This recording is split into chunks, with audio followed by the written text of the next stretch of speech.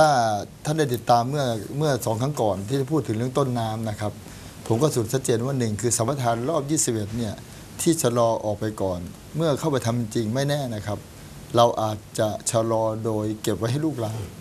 ไม่ต้องขุดเพิ่มอืมอันนี้เป็นประการที่หนึ่งเรื่องสัมปทานรอบ 21 นะฮะเอาเฉพาะรอบ1ถึง20 นี่ก็อาจจะพอเพียง แล้วข้อที่ 2 คือเรื่องพลังงานทดแทน อันนี้สำคัญนะฮะเอ่อแบบที่ผมเล่าว่าแสงแดดเนี่ย ประเทศไทยทางอีสานทางเหนือเนี่ยร้อนมากครับ ถึงหน้าร้อนแดดเยอะแยะหมดเลย ในประเทศเยอรมันตะวันตกเนี่ยมีแดดน้อยกว่าเราเยอะเอ่อถ้าเราใช้แดดเนี่ยนะฮะแล้วเดี๋ยวนี้โรงงานผลิตไฟฟ้าที่เป็นโซลโซลาร์เซลล์นะฮะดึงพลังแสงอาทิตย์แต่เนี่ยต้นทุนถูกลงมากเลยครับถ้ารัฐลงทุนโดยเอากำไรจากองค์การปิโตรเลียมมาทำตรงนี้ซะนะครับ แต่ว่าเมื่อเราทำตรงนี้ตัวที่เราพูดถึงบางคนก็เสนอว่า ถ้าปเอ่อปปฏิรูปประเทศเรื่องพลังงานมาเรียบร้อยแล้ว ต้องมีการให้เบี้ยเลี้ยงคนสูงอายุแค่นี้ รักษาฟรีถึงปริญญาตรีแค่นี้เอ่อเรียนฟรีถึงปริญญาตรี หรือว่ารักษาฟรีทั้งหมดเนี่ยเห็นไหมฮะเราต้องมาจัดสรรอีกทีบางทีอาจจะไม่ได้เหมือนกับที่คิดอืมต้องดูว่าทีแรกได้มาเท่าไหร่จะใช้อะไร ถ้าเห็นเห็นความสำคัญของพลังงานเราก็ต้องทุ่มงบมาทำพลังงานทดแทนถูกไหมฮะถ้าเราทำตัวนี้มากแบบที่โมบอกนะฮะปิโตรเลียมเรามีอยู่60%ค่ะ ถ้าเราสามารถทำอีก 40%เป็นพลังงานทดแทนได้ ประเทศไม่ต้องนำเข้าเลยครับ ใช่ อันที่อันต่อไปคือการประหยัดพลังงานอืมถูกไหมฮะถ้าทุกคนช่วยประหยัดงาน จากที่ว่าที่มีอยู่มัน60%ถ้าประหยัดดีอาจจะเป็น 70%เพราะฉะนั้นพลังงานทดแทนทำอีก 30%นะฮะซึ่งไม่ใช่แต่แสงแดดอย่างเดียวนะครับ ทุกอย่างประเทศลมน้ำไฟ ขยะมูลฝอยนรงค์ถ้าเกิดทั่วประเทศ ทุกอบตทุกเทศบาลนำขยะมาเข้าสู่โรงงาน ผิดออกมาเป็นเป็นแก๊สผิดออกมาเป็นกระแสไฟฟ้านะฮะใช้เทคโนโลยีที่เหมาะสมกับพื้นที่ มันจะลดพลังงานทั้งหมดครับผมคิดว่าเผลอๆเนี่ยรอบที่เสร็จไม่ต้องขุดใหม่ครับค่ะอันนี้ก็เป็นที่คิดตรงกันนะ แต่ว่าจะทำยังไงเนี่ยมันต้องไปศึกษาทั้งหมดว่าจะเคลื่อนยังไงยังไง ต้องมีการลงทุนโดยรัฐอืมนะครับค่ะทีนี้ประเด็นที่คุณหมอยังค้างอยู่คือเรื่องของ การปฏิรูปในส่วนของปลายน้ำอ่าซึ่งถ้าสำหรับอาทิตย์นี้ก็ไม่ทันแน่ครับผมๆค่ะเราจะไปพูดคุยกันในครั้งต่อไปใช่ถึงครับเรื่องของการปฏิรูปพลังงานในส่วนของปลายน้ำครับคร่าวๆสักนิดหนึ่งหลักใหญ่ใจความสำคัญของคำว่าการปฏิรูปพลังงานปลายน้ำต้องทำยังไงคะปลายน้ำก็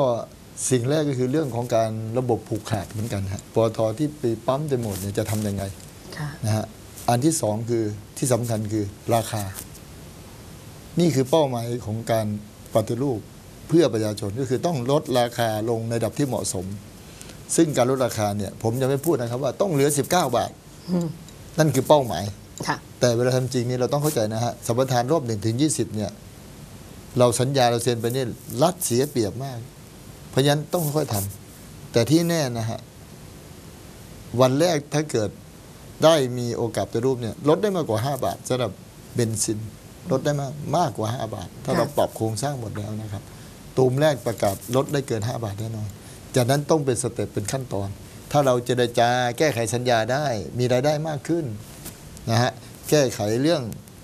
ปตทได้ ลดค่าการตลาดได้ ลดค่ากันได้ถูกค่ะลดค่าน้ำมัน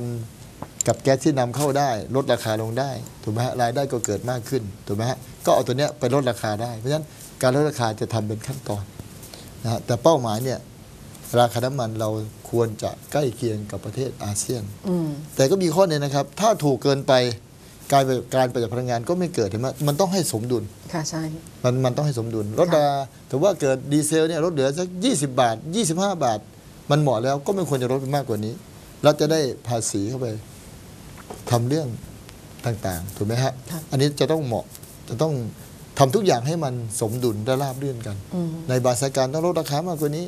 บางสายการก็ขึ้นราคาได้ได้ขนาดนี้นะฮะอันนี้ก็ต้องคือคือโดยโดยโดยโดยภาพรวมนะครับ ค่ะขึ้นอยู่กับสถานการณ์ในครับผมอนาคตต่อไปด้วยครับเพราะว่าณขณะนี้รถก็ติดมากมายพอสมควรแล้ว ครับผมจากที่ไม่เคยติดขนาดนี้ก็ติดใช้ใช่เวลาฮะขับรถก็นานมาใช่กขึ้นครับไปแล้วเพราะว่าอ่าปริมาณรถบนท้องถนนมีเยอะขึ้น ใช่ครับถ้าหากมองว่าจะลดราคาน้ำมัน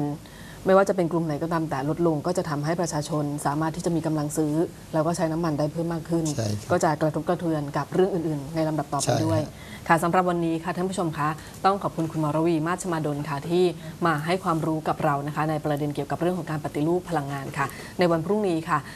ท่านผู้ทรงคุณวุฒิที่จะมาร่วมรายการเสียงประชาชนสำหรับวันพรุ่งนี้ค่ะ อาจารย์ดำรงกิจม่วงงามค่ะ เราจะมาพูดคุยกับอาจารย์ในประเด็นเกี่ยวกับเรื่องของชาวนา และโครงการจำนำข้าวค่ะสำหรับวันนี้ดิฉันพัชชาธนาฤกษ์และคุณหมอระวี มาชมาดลต้องลาไปก่อนขอบคุณและสวัสดีที่รับชมรายการและร่วมแสดงความคิดเห็นกับเราค่ะ